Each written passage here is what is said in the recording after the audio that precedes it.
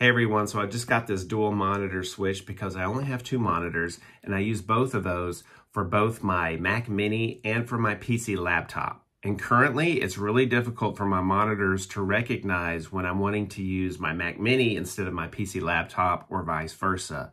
It takes forever for the monitors to just switch over. So I'm hoping that this is gonna really help. Let's find out. So in the box, you get the switch hub, which is nice, and you get a bunch of cables which is good because I don't think I have enough cables on hand. So this is where I would put the HDMI cables that go to my monitor, and this is where I would put the HDMI cables that go to either my PC or MacBook. And on the front, you have a place to put your keyboard and your mouse, so you can use both of those on both computers. I didn't really need to use anything on the front because I have a Bluetooth mouse and keyboard, and I don't even know what Hub 1 and Hub 2 is, and I didn't even need to use it for it to work.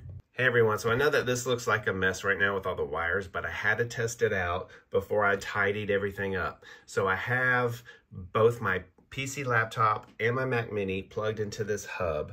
Right now it's on my PC laptop. As you can see, it's on both monitors. The monitors are extended. Um, my issue is normally when I switch over from my Mac Mini to my PC laptop, or from my laptop to my Mac Mini, it takes forever, like minutes for it my monitors to recognize the change.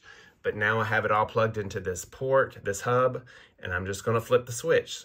So I'm gonna go from computer two to computer one. Let's see how it goes.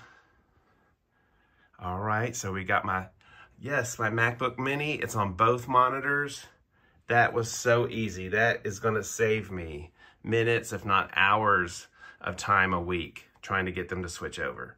I am so excited. Now I gotta clean up this mess. Actually, I just realized that this whole switch kit comes with an actual switch that can be connected to the hub. Um, and it can be elongated so it can be placed near your keyboard or wherever so you can quickly make the switch from here instead of clicking on here all the time.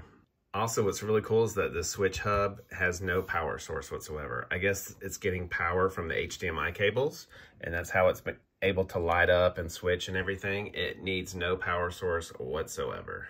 All right, guys, so I've tidied up my system, I've tidied up my cords, and now I'm currently on my MacBook Mini. It's on both monitors. My MacBook Mini's right there. And now if I wanna switch to my laptop, which is right there, all I have to do is tap this switch. So I'm tapping it to computer two. I don't know if you can see there's a one and a two there. And now I'm on my PC. So cool it works with my MacBook and my PC.